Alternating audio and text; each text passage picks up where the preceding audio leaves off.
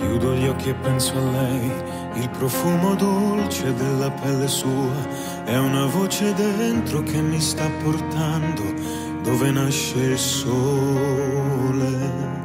Sole sono le parole, ma se vanno scritte tutto può cambiare. Senza più timore te lo voglio urlare, questo grande amore,